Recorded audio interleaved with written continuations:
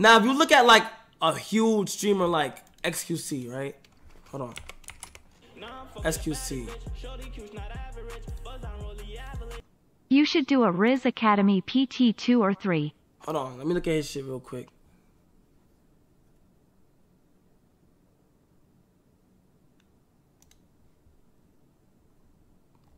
What the f-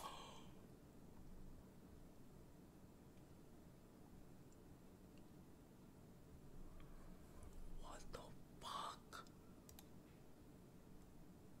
Like what in the actual Now, now, now, let that sink in real quick though. Let that sink in. Why is he on top? Let that sink in. Why is he on top? Wanna know why? Because he puts in the pain and the effort to. It's because he puts in the pain and effort to.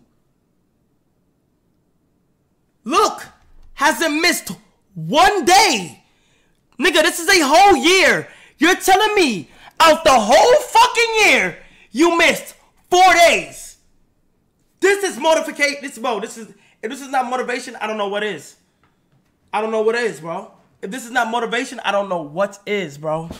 I don't know what is, bro. He doesn't play. He does not play about this shit. He's a full-time streamer. He does not play. You feel what I'm saying?